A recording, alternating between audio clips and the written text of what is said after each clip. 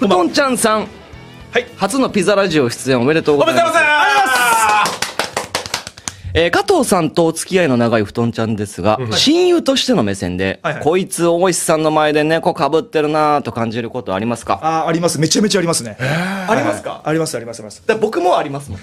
えあ大石さんも？純猫かぶってんなとあ思ってるけどでもどんなところが猫かぶっいやてる、まあ、猫というかなんというかあのーやっぱりねさっきやっぱこう立山のその僕らの先輩がすごい怖いのが多くて、やっぱ本当にあの何かあったらすぐ小づかれてたんですよ。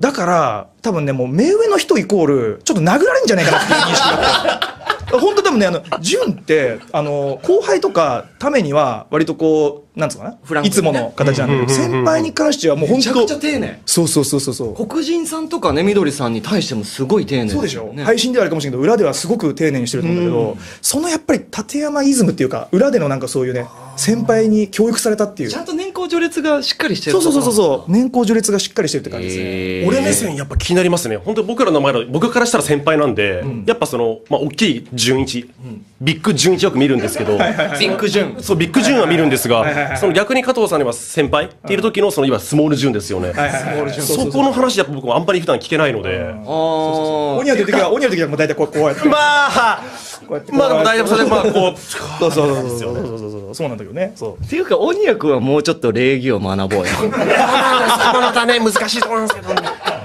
より馴染みたいよりね 仲良しいや俺は好きよ、うん。俺は好きやけどやっぱ先輩も選ぶよね。そうだそうマサさんでか大石さんなのかまっちゃんなのか布団さんなのかも細かく難しいんですけどでもやっぱりでもそこの人間味というかやっぱその人たちのねいろんな羽織ってるものがあるんで 僕はやっぱそこをこう紡いでいきたいなって気はやっぱありますよね。何言ってるか分かんないですけどね。まあうん